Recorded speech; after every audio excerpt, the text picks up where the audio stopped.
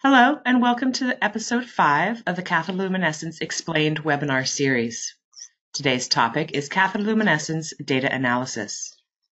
During this webinar, analysis of data drawn from various specimens shall be performed, the results discussed, and the benefits of such analysis demonstrated. At the conclusion of the webinar, you will be able to understand how to apply the demonstrated techniques to general specimens.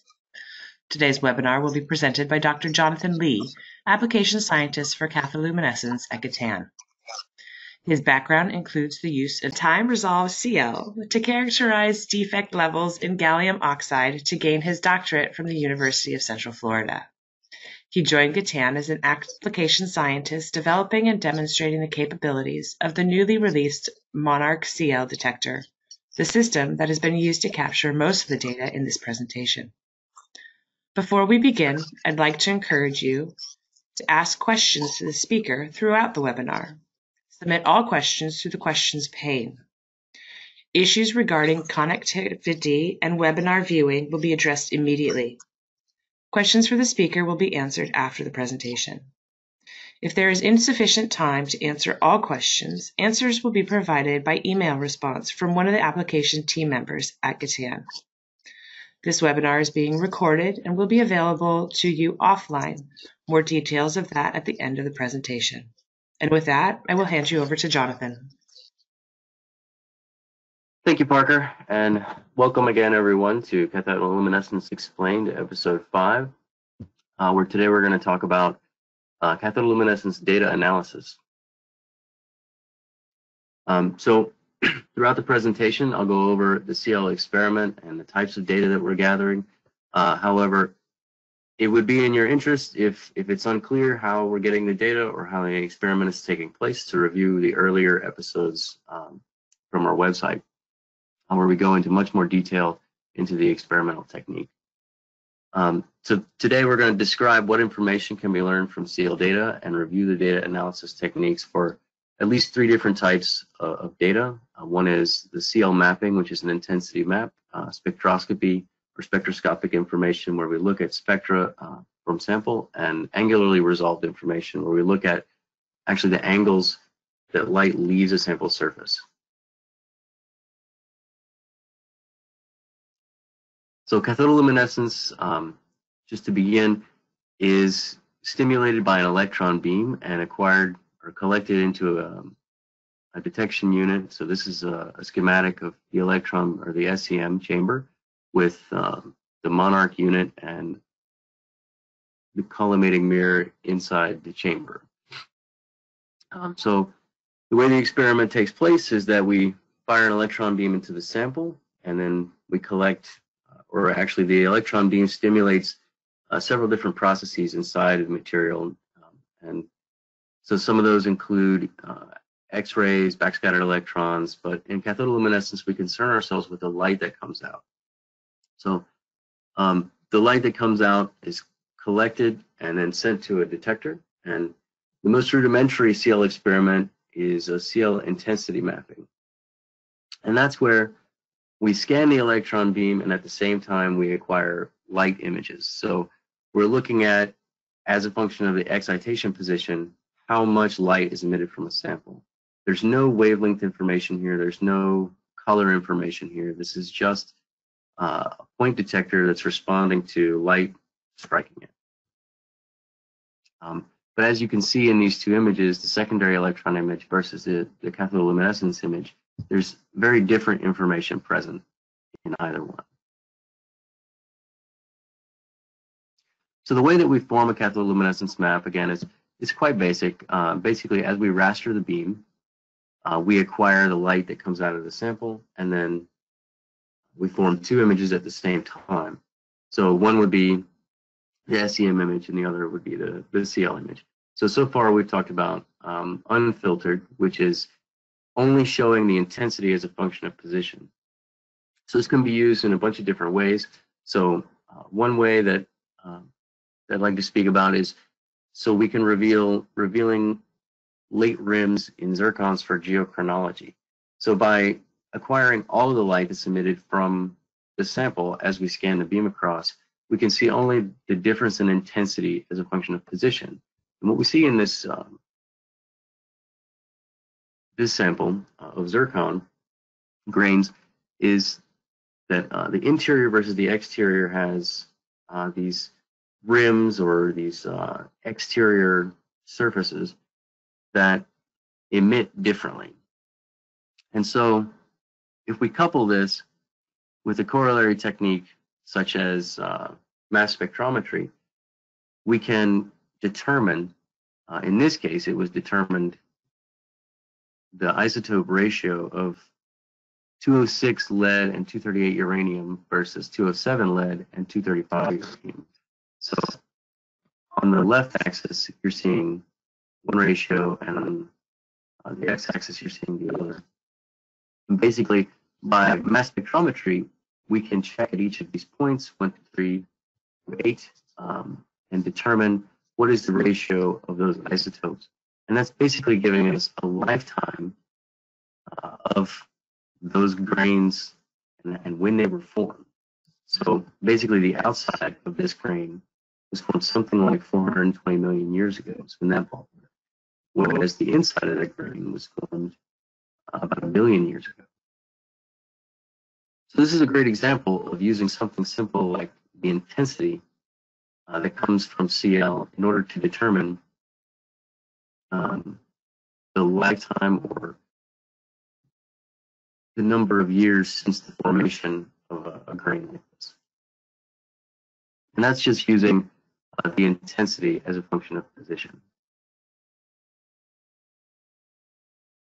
So one of the things that needs to be considered whenever um, designing an experiment is your spatial resolution that you need to achieve, and that's controlled by the generation volume. So this is, uh, again, uh, I think this is a quartz grain where we're looking at 20 kV, and we can see a, a tremendous amount of blurring in this sample. However, when we reduce to 10 kV, you see a lot of that, a lot of those edges sharpen, and then further again at 5 kV. And what this is uh, telling us is that basically the generation volume that we're using to scan across the sample surface is limiting our resolution. So the smaller and smaller we make the generation volume, the higher we can uh, push our resolution. But of course, there's a limitation to it in that the lower generation volume you go, the fewer electron hole pairs that we can generate, and the less light will come out of the sample. So there's a trade-off there. But what's important to note is that this is controlling um, the ultimate resolution of the data that you get out of it. So for instance, in this case, we can look at um, we can look at the rate that the blur goes across the edge. So if I take um, a profile, an intensity profile at each of these lines, uh, so about the same position across the sample uh, at different voltages, what you can see is that the edge of a feature is significantly rounded, right? So the slope of this line is uh, is increased at higher voltage. So as we go to lower and lower voltage, uh, you can see um, we get closer and closer to uh, the generation volume no longer limiting um, the resolution of the image. And that actually gives us an opportunity to determine uh, the minority carrier diffusion length in a material, which is something that comes comes up frequently uh, when dealing with semiconductor materials. Um, so one method that uh, that's been used historically for determining diffusion length in semiconductor materials is to look at uh, the CL intensity drop off as a function of distance from, say, like a threading dislocation. So this is a gallium nitride sample with several threading dislocations in it. Uh, but it turns out that the threading dislocation, as depicted here in a cubic uh, crystal, um, not in and of itself uh, going to give you the diffusion length by just looking at the intensity fall off as a function of position. And as it turns out, uh, one needs to look at spectroscopic information to do that. So we're going to move into wavelength resolved or wavelength filtered CL and look at data analysis for uh, those sorts of information. So wavelength filtered or wavelength resolved CL comes from, again, stimulation at the sample surface from an electron beam, and then taking that light and feeding it into a spectrograph. Uh, the output looks something like this, where we have a spectrum. Its intensity is a function of wavelength. The interior of the spectrograph is schematically something like this. And basically the camera, uh, there's a CCD camera at the end of the beam path after the diffraction grating where the light is focused from the sample surface onto the CCD. So that allows us to capture an entire spectrum in one snapshot. So the camera is taking spectrum after spectrum after spectrum. So that gives us the capacity to collect point spectra where we point the beam at a single point and feed the light again through the spectrograph onto the camera surface and say we can see intensity as a function of wavelength for this sample, uh, for this position. However, um, it's possible to raster that beam and acquire a spectrum for every point in the image. We call those spectrum images. And there are two methods that we can use to gather them. Uh, one is called wavelength resolved, wherein we acquire uh, for each position an entire spectrum. So we feed, you know, position x1, y1 to the camera, get a spectrum, and then uh, serially deal with space that way. For wavelengths filtered, it's just the opposite. In this case, we use the spectrograph or the spectrometer as a monochromator and feed uh, images of a single wavelength to a point detector, so like a PMT. And then we would process in wavelength. So you would serially acquire wavelength in a wavelength filter.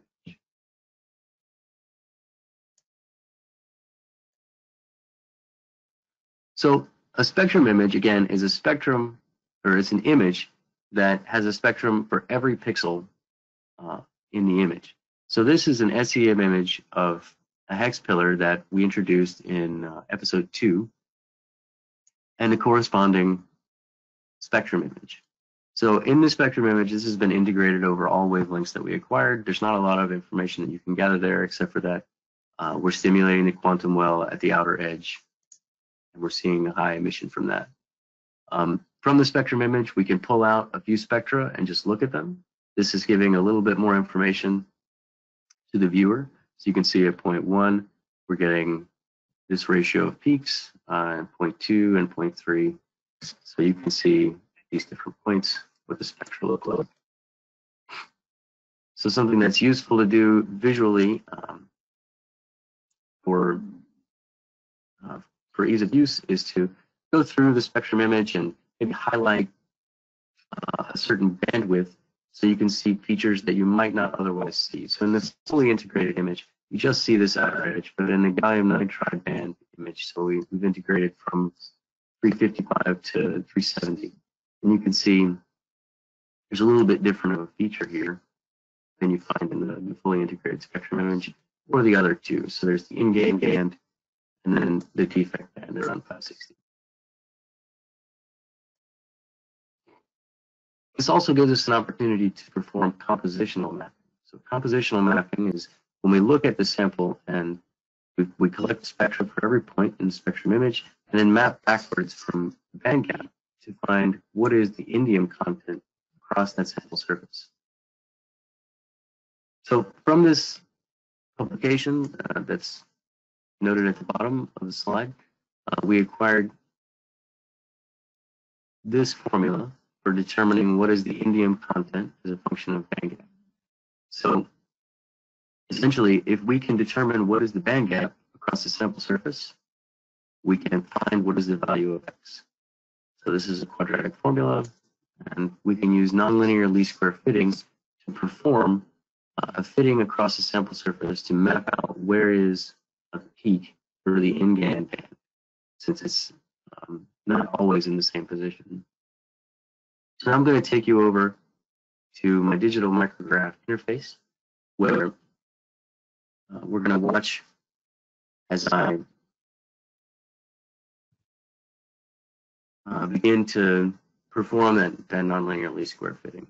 So right here, this is a survey image. So this is just an SEM image uh, that shows where the data is gathered from. So the, the green square, for instance, tells us where the spectrum image was gathered. And so there's a raster inside there, and then we acquire at the same time an SEM image and a CL spectrum image. So then for every point in the spectrum image, we can come and display a spectrum. So we can freely move that picker tool around and see the spectrum for every position fluidly. You can also slide around uh, what we call the slice tool, which is basically integrating a bandwidth of wavelength. Um, so you can scan across and see maybe there's some area of interest in your specimen that you want to take a look at spectrally. In this case, those are just gamma rays uh, that struck the detector during acquisition, so there's nothing really of interest at those points. We can scan through and make sure that we're getting to, we're seeing what we want to see. Now, because this sample is um, a semiconductor material, we want to convert to electron volt basis because the energy uh, of emission is always going to be Gaussian around energy, not wavelength. So we transform it to the energy basis, move the same picker tool over to the, uh, the energy image. And now I'm going to set up nonlinear least square fitting uh, regions, and I'll throw some Gaussian fits at those regions. So again, one at the defect band, one at the InGaN band, and then one at the gallium nitride band.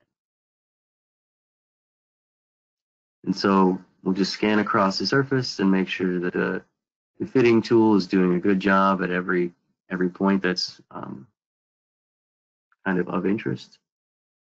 It looks pretty good.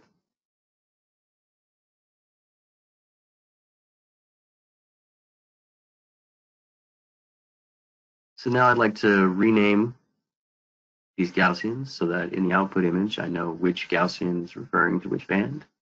So the first one is the defect band, the second is the InGaN band, and then the gallium nitride band is last.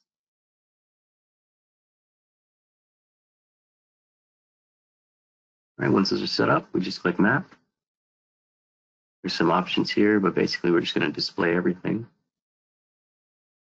All right, and the output is three parameters for each Gaussian, including the amplitude, the full width half maximum, and the position.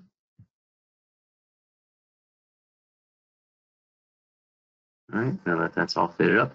So the, the parameter of interest in our case is the position of the InGaN peak. So it's this blue image here. So we'll rescale it. Go ahead and blow it up so we can see it. So there's definitely some information here. Uh, we can show an intensity scale bar so you can get an idea of where that central emission is coming from. So the Gaussian is centered around those energies. So we're going to move it to a new workspace so that it's not as cluttery. Now that we're over here in a new workspace, I've already written out the solution to the quadratic function from that paper and input some of the parameters that they suggest for mapping the band gap. This is a very simple script. It doesn't do anything except for uh, simple math to the values in an image.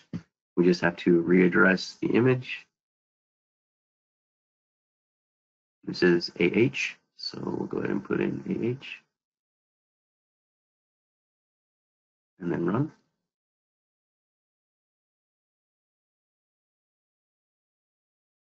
And so this image describes to us the actual, or estimates the indium content across the sample surface by using the band gap from nonlinear least square fitting.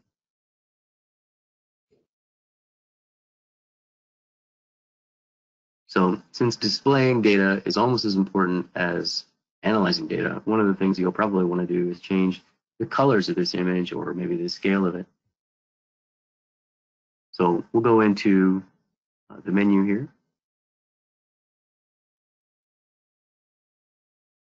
And change the color scale to something with a bit more contrast than grayscale.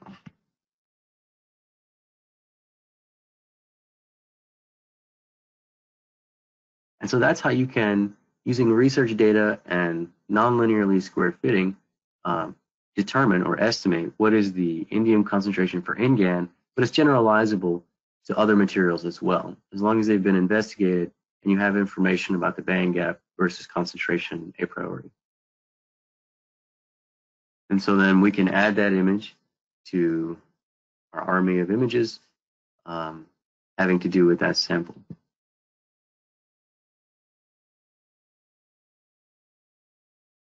Okay, so that tells us uh, about the indium concentration in the sample, but it doesn't really give us any information about what direction the light is going. Uh, so for that, we turn to angularly resolved CL or ARCL sometimes. Uh, so angle resolved CL is again, we have a, a parabolic collimating mirror sitting above the sample. The sample is at the focal point of that mirror. The electron beam strikes the sample. The light comes out, reflects off the mirror, and then is projected onto an array detector like a CCD. So since the CCD is acquiring information from a paraboloid, every point on the paraboloid that's projected in 2D space back onto the array detector corresponds to uh, a certain piece of angle space, and each point is unique. So since each point on that detector is unique and maps back to angle space, we can transform into angle space. So what this image is telling me, the information that's here, is from center, what the light intensity as a function of angle from the surface. So if normal is at the center of this image, then as we go right or left, we're going um, further and further away from the normal angle. So here's some angular scale bars to get an idea of what we're looking at. Uh, the angular extent goes out into the 80s, something like 83 at the most extreme.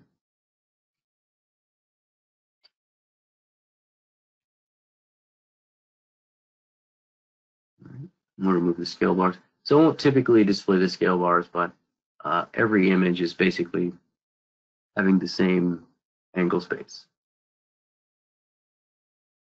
So uh, we collect uh, AR in much the way that we do uh, spectrum.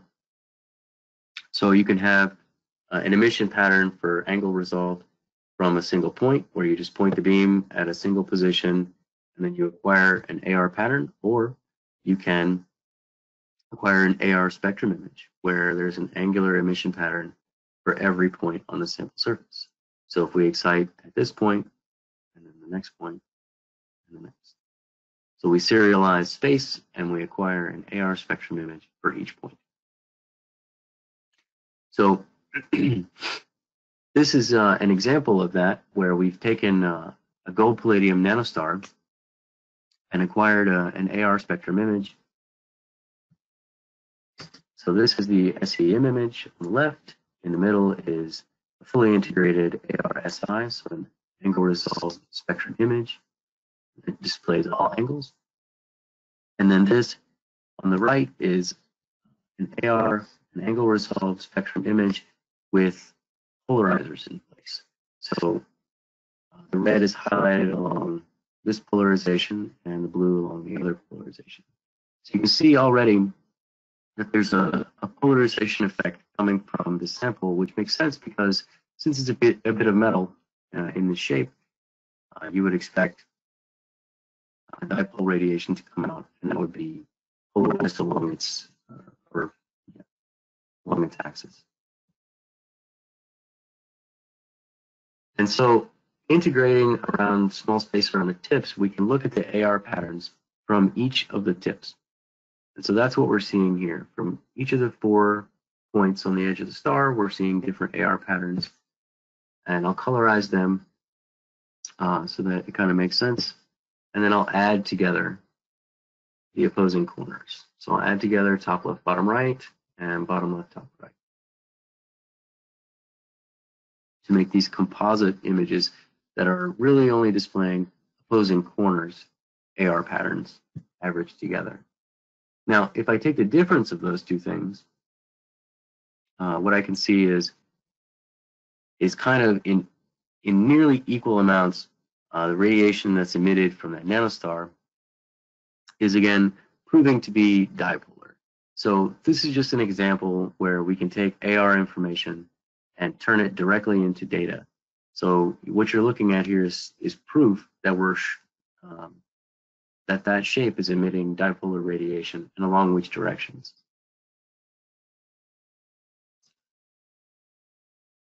So now I'd like to turn my attention back to the pillar sample, which again is um, gone over in, in greater detail in episode two, where we see these wavelength and angle resolved CL patterns. So these are just a few excerpts. I'm not going to show the entire uh, video for it. But what you can see here is in angle resolve or in wavelength and angle resolve, there's a bunch of additional information that one can gather in that you can see not only direction, but also there are these uh, quite evident patterns that are showing up. And so it may be of interest to analyze those patterns in a more meaningful way. And so um, I'm going to show now in my DigitalMicrograph interface uh, the analysis of a different pillar sample where we're going to map back to the energy momentum space. So this is the SEM of a different pillar sample with much, much tighter spacing and smaller pillars. This is the corresponding unfiltered CL image. This is the raw wavelength angular CL data, where you can definitely see there's some pattern that's present. This is after transform. This is the polar map, we call it. So as I scan through wavelength, you can see the pattern kind of changes. Uh, and that's based on, again, the shape of the pillars and the spacing. So I'm going to first normalize the polar map. So this is the same data, but it's normalized by wavelength. So every wavelength image is normalized to itself.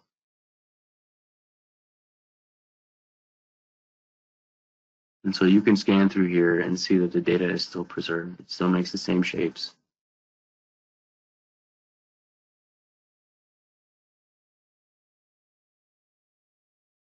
And so now I'm going to remap using a script function into energy momentum basis.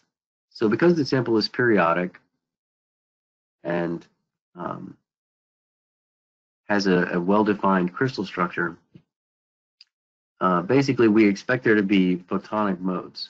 So there'll be directions where certain wavelengths are disallowed and others are enhanced. Is uh, a real succinct way of putting it. So now that mapping is complete, and basically we're looking at a certain angle. We're looking at all of the directions that come out along a certain angle on the sample surface. So what I'm scaling through right now is you can think of as a rotational angle going around the normal.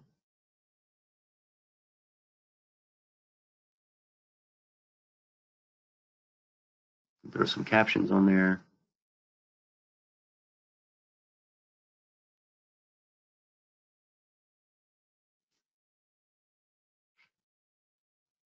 And that's for a different sample. Um, we can go back to the sample from episode two, which has this really pretty pattern data. And I've already remapped that one.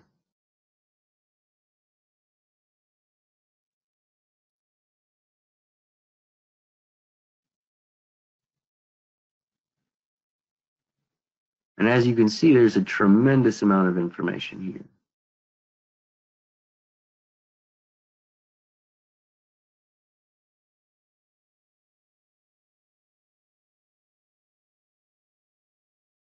So this is particularly interesting whenever one has a, like a 2D crystal sample or a metamaterial that has some photonic or plasmonic behavior.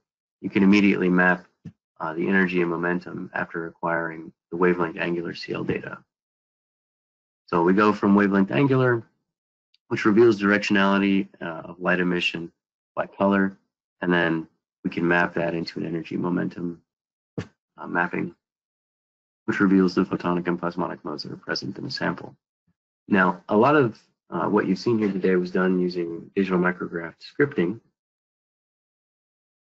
which is uh, an extremely useful tool that's uh, native to DigitalMicrograph, or GMS.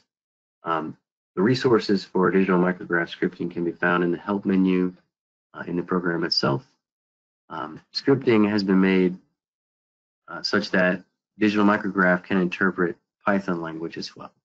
So for those of you that are familiar with the Python language, you can readily integrate that into uh, DigitalMicrograph. Uh, also, there are many script examples that you can find on our website at gatan.com slash resources slash scripts. Um, I highly recommend if you're interested in scripting and you want to get a handle on it to visit this website. There's a lot of useful examples there. All right, so we've gone over uh, different CL data and shown that it can reveal lots of interesting and important properties from your specimen, including like things like diffusion length, material composition, and uh, emission and anisotropy. Um, so data analysis methods uh, can include things like nonlinear least square fitting and DigitalMicrograph scripting to do like simple math stuff or quadratic formula, things like that. Uh, so it's a it's a great so data analysis is critical to understanding your specimen and DigitalMicrograph can really be useful in helping you do that. Um, so at this point, I'd like to open up uh, the floor to questions. So please, if you have any questions, submit them uh, through the questions pane.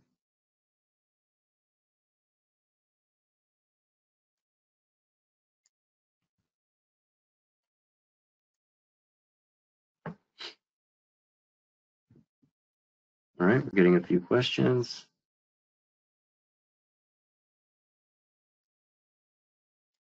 All right, uh, so the first question is, in the nonlinear least square fitting, can you save a set of predefined functions? And the answer is uh, yes. So maybe I can take you over to my interface here and actually show you that. So in a nonlinear least square fitting, you can add any of the built-in functions, Gaussian, Lorentzian, um, Maxwell-Boltzmann. There's, there's lots and lots of functions. You can define your own scripted functions as well.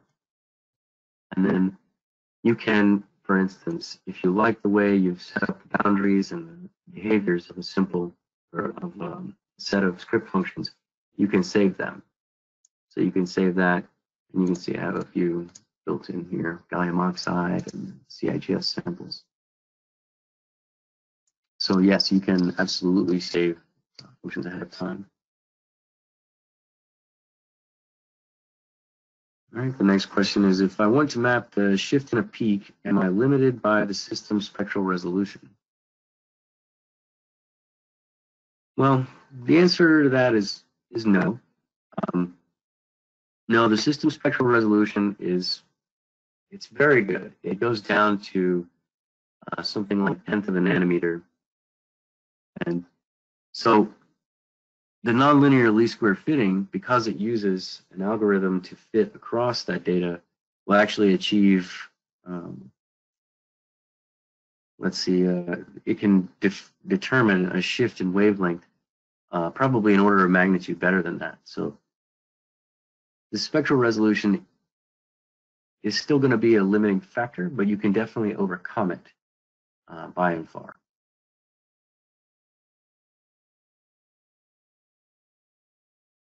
Okay.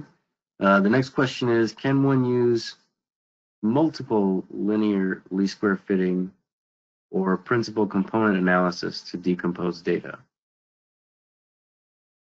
Uh, yes, yes, and I'll take you back to the for that as well.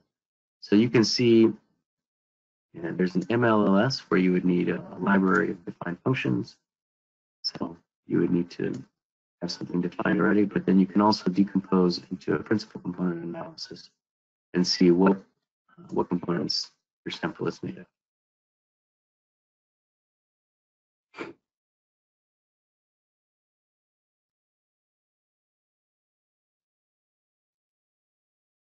All right, um, I think that's all the questions I'm going to field for now. Uh, so I'd just like to thank everyone again for attending. Uh, any of the remaining questions will be addressed offline. The recording will be available in five business days or less. Uh, it'll be posted on our website, and you'll receive a link to the video by email. Um, so if if you have a topic that you'd like to see us cover, please submit that to us as well. we're, we're looking for uh, something that you'd all be interested in seeing. Uh, the next webinar is tentatively planned for May 20, and the topic is to be determined. So thank you all again for attending, and have a nice day.